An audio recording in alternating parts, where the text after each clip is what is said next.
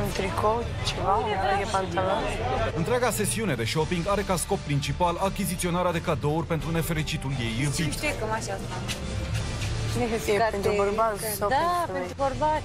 For men? Yeah, for man. How much? Uh, 290.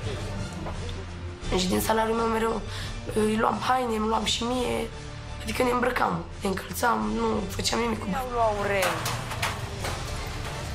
Nu iau, de zici să ții tu. Asta în contextul în care la vizita lor în oraș, deși avertizat de Cosmin că ar putea să-i cumpere Alexandrei ceva cadou, Bă, nebun, ia-ți mă cu tine, bă, că e ceva în ăsta, bă, de ceva, mă. Aurel a ales să își lase portofelul acasă, O să fac așa să te protect, că eu nu iau nimic, frate, nu pot să fac așa, nu pot. conștient fiind că o să se vadă urât dacă nu ia nimic cadou.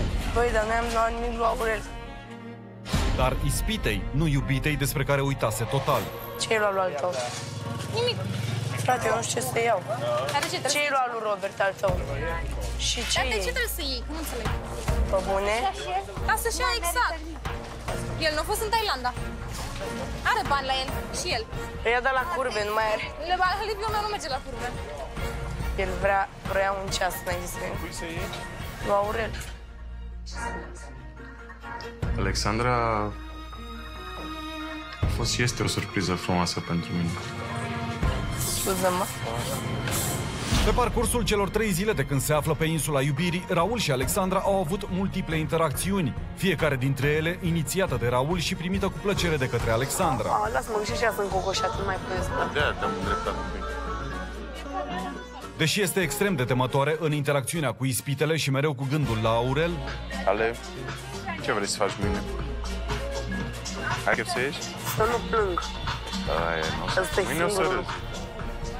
Alexandra l-a folosit pe Raul permanent ca pe un confident Cam ce învăța, că ești foarte matur. și o persoană de la care este dispusă să învețe. Mi-a povestit despre viața ei, mi-a povestit despre, puțin despre copilăria ei, mi-a povestit despre anumite hobby-uri pe care le are, anumite dorințe, dar la un moment dat uh, am ajuns să vorbim și despre relația în care este în acest moment. Ea joacă o cămașă de asta.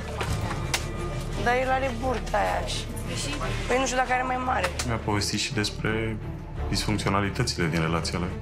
Mi se pare așa că duce un bolovan în spate, are cumva o, nu știu, o greutate. Mulțumesc. Eu nu ți-am zis niciun cadou. Are multe în spate.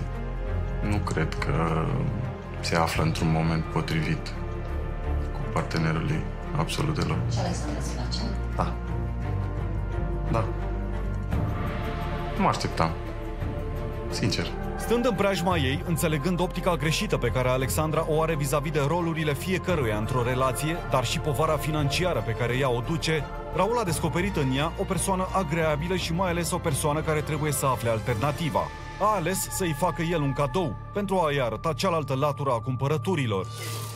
Mi-a luat ca, cadou Raul. Ca, Ce e acolo? Mi-a luat Amnesty? Raul cadou. Ia. Și toată seara i-a fost alături, obținând la schimb câteva zâmbete care trădează simpatia, dar și relaxarea treptată în preajma lui.